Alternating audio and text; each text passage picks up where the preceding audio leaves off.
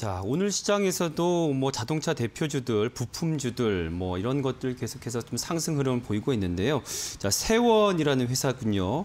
이 전기차 부품 관련주라고 볼 수 있겠죠? 네, 그렇습니다. 어, 이렇게 미국에서 또 다른 소식이 나왔습니다. 미국 그 자동차 기업인 포드의 경우가 전기차 부분에서 34조 원을 투자를 한다라는 소식이 전해졌었는데요. 네. 포드가 오늘 2030년까지 전 세계 자동차 생산량의 40%를 전기차로 만들어서 시장에 내놓겠다 라는 어, 어떤 좀 계획을 구체적으로 밝혀지기도 했었습니다. 네. 아무래도 기존에 제시했던 포드가 어, 전기차 개발과 그리고 생산을 위해서 투자 금액이 더욱더 상향이 조정되었다라는 평가를 받고 있는 만큼 그만큼 전기차 시장을 더욱더 확대를 해 나가고 주력으로 하겠다라는 의미로 보시면 되실 것 같고요. 네. 이 세원의 경우 주목을 받는 이유가 뭐 포드를 포함을 해서 테슬라라든지 뭐 루시드 모터스, GM 등과 같이 글로벌 그 전기차 업체 모델에 어, 공- 부품을 공급을 하고 있습니다. 그렇기 때문에 공조 부품을 공급을 하고 있기 때문에 이 소- 소식들이 오히려 중장기적으로도 수혜가 어, 있지 않을까라는 가능성이 좀 제기가 되는 부분이기도 하고요. 네네. 특히 포드의 경우는 일단은 라이트닝 전기 픽업 트럭이라고 할 수 있는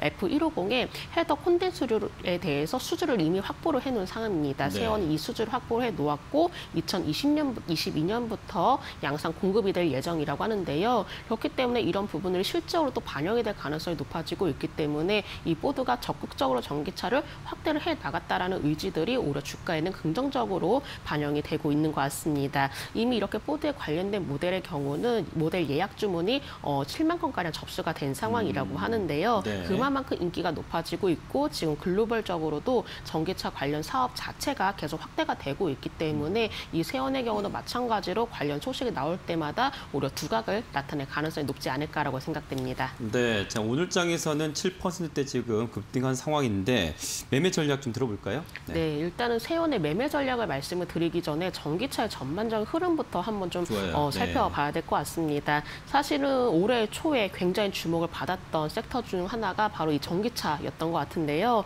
이 성장주 안에서도 특히나 전기차 관련주의 경우가 사실 올해 초에 너무나 큰 랠리를 보였습니다. 근데 이미 랠리를 보이고 난 뒤에는 오히려 대체적으로 지금은 쉬어가는 모습을 보여지고 있죠. 어, 대표적인 관련주로 뭐 대주전자 재료도 있 겠고요. 뭐 일진 멀티리얼즈라든지 에코프로 BM 등이 있는데 사실 이렇게 관련 종목도 봐- 보면은 오히려 주가가 한철 큰 폭으로 상승했다가 최근에 좀 재미가 없는 모습을 보여지고 있습니다. 네. 그만큼 이런 기대감이 반영이 되었기 때문에 아, 조금 지금 당장으로서는 뭔가 또 새로 모멘텀이 필요한 시기라고 좀 보시면 되겠죠. 어, 일단은 전기차 시장 자체가 어쨌거나 분위기를 굉장히 많이 타게 됩니다. 근데 지금 시장 속을 좀 들여다 보니까는 순환매가 워낙에 빨리 이루어지고 있는 상황이기도 하고요. 어느 정도 기대감 이 이미 반영이 되었다는 인식도 굉장히 커진 상황이기도 합니다. 네. 그렇기 때문에 지금은 전기차 자체가 관심이 덜한 상황이라고 보시면 될 것 같은데요. 일단 관련주들이 뭔가 주가가 올랐을 때는 이렇게 분위기들도 함께 타려는 어, 모습을 보여줘야 되는데 일단 그런 부분들이 부족했기 때문에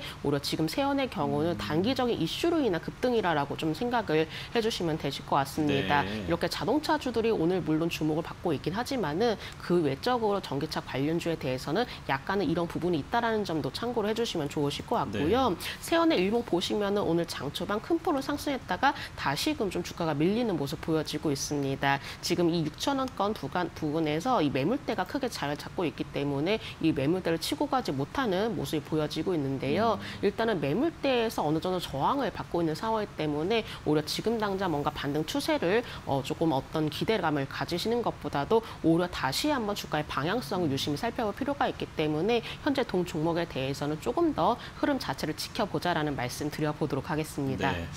뭐 전기차 관련주, 전기차 부품 관련주들의 의견 충분히 동의하는데 시간은 없지만 요것만 짧게 여쭤볼게요. 지금 차량용 반도체 수급이 굉장히 어렵잖아요. 이런 것에 대한 어떤 그 걸림돌에 대해서는 어떻게 생각하십니까?